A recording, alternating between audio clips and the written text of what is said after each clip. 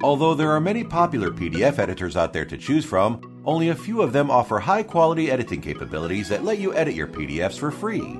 In this video, you'll learn how to use a professional PDF editor called PDF Element, which has excellent editing tools to improve your efficiency with PDFs using its free trial version.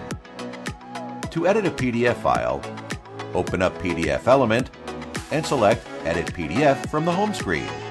PDF Element will open the file in edit mode, which means the PDF can now be edited. You can select text to add a new title or delete text you dislike. You'll notice the title looks small here, so you can select the text and change the properties including font size, color, and frame size with the drop-down menu. Moreover, you can add text boxes or images as needed. This image is a little bit misaligned, so let's drag the image to a suitable place and adjust the image size by simply dragging the corners. Here we have an upside down page. To rotate it back, just head to the page menu where you can see all the page thumbnails. Move the cursor over the page to be rotated, then select the rotate icon to complete the rotation.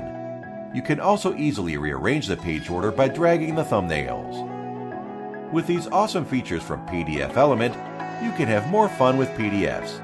If you found this tutorial helpful, please like this video and subscribe to our channel. Thanks for watching and see you next time.